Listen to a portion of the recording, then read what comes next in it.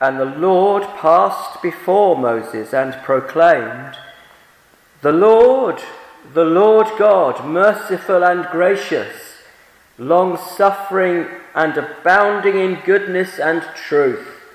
keeping mercy for thousands, forgiving iniquity and transgression and sin, by no means clearing the guilty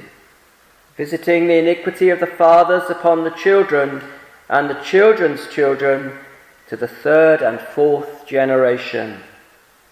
So Moses made haste